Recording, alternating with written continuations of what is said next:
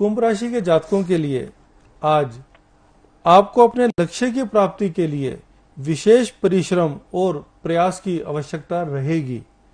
आपका कोई नया मित्र बन सकता है। आज आप किसी पारिवारिक या सामाजिक उत्सव में भाग ले सकते हैं। आपको आज वाहन सावधानी पूर्वक चलाना चाहिए।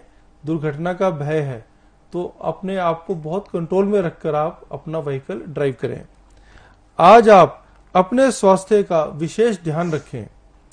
किसी पुराने मित्र से आज आपका अचानक संपर्क बन सकता है तो आप उसको यूटिलाइज करें। अगर बनता है तो उसका फ़ायदा उठाएँ।